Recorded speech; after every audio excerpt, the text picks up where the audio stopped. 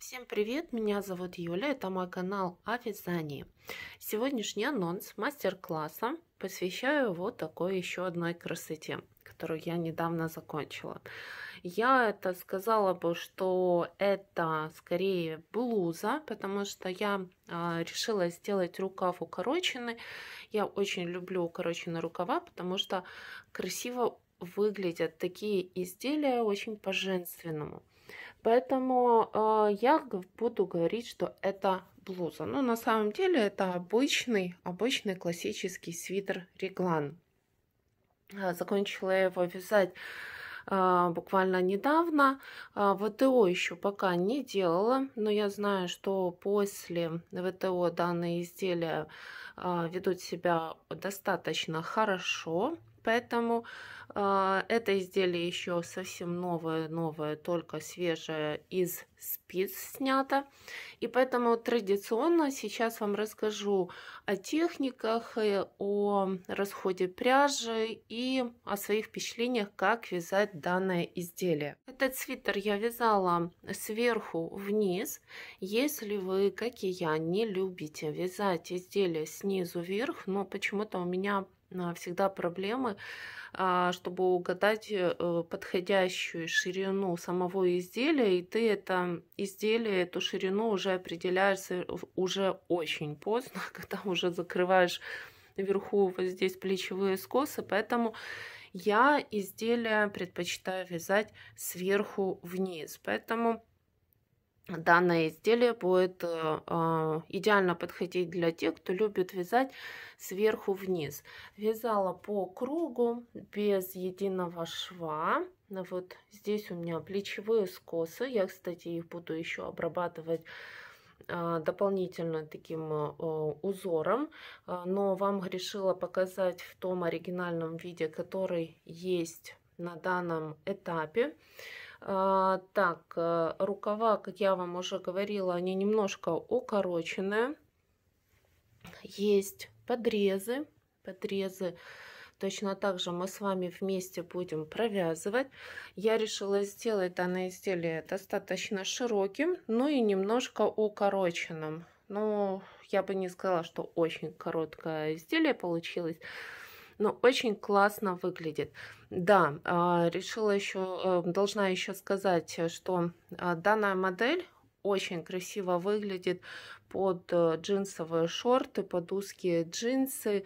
А на лето это на прохладные вечера, на раннюю осень будет выглядеть идеально. Поэтому еще за счет этого решила сделать рукава 3 четверти. По пряже а, так, значит, я вам сказала, это махер, это махер на шелке от бренда Drops. Я очень люблю эту пряжу.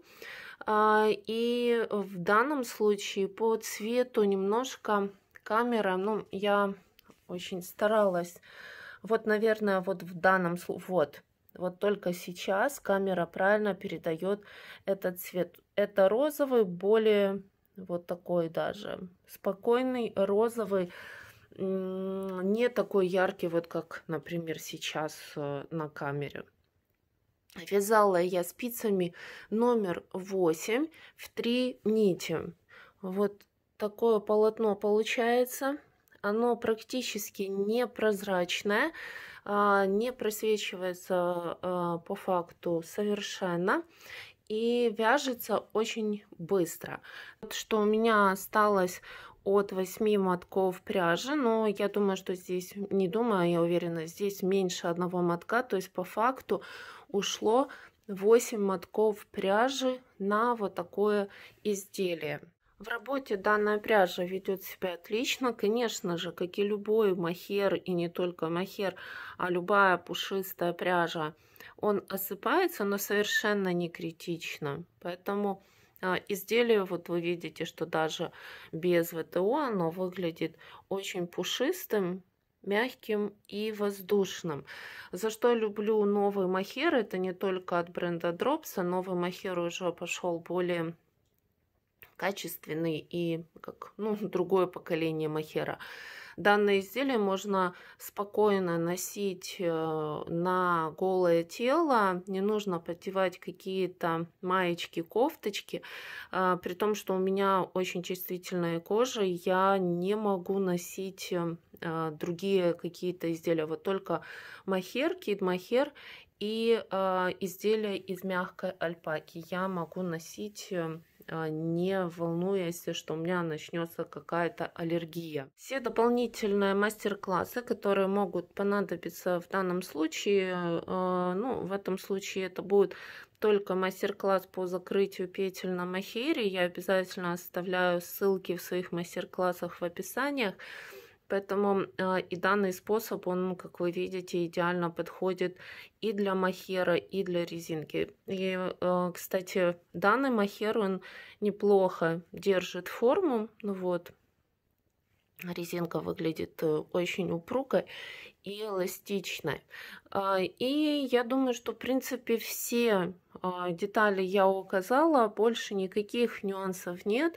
А, это еще ниточку я не обрезала. И вяжется очень легко, классно, очень быстро. Э, подойдет даже для новичков данная модель. Мастер-классы буду выкладывать в нескольких частях э, традиционно. Поэтому в ближайшее время мастер-классы уже будут подготовлены и буду ждать вас на моем канале. Очень рекомендую связать данное изделие, тем более привязки к пряже нет никакой, но, э, как вы видите, в такой пушистой э, пряже э, эта модель выглядит просто шикарно, поэтому для лета, вот в ближайшее время вы еще успеете до холодов и носить данное изделие. Ну и, конечно же, зимой это изделие будет согревать вас. У меня, кстати, есть подобное изделие, только связанное снизу вверх в три нити, и оно просто невероятно классно греет зимой. Вот вы одеваете э, изделия из данной пряжи, они моментально начинают греть. Э, очень приятно носится, поэтому э, любой махер подойдет, любой, конечно же, а, альпака, я думаю, тоже может э, подойти. Можно скомбинировать, кстати, пряжу. Можно взять махер, плюс еще какую-то пряжу, например, э, а, шерсть, э, меринос, либо что-то в этом роде. А, я думаю, что на этом я буду уже заканчивать свой анонс. Всем желаю легкой работы, отличных результатов. И уже увидимся совсем скоро с новым моим проектом.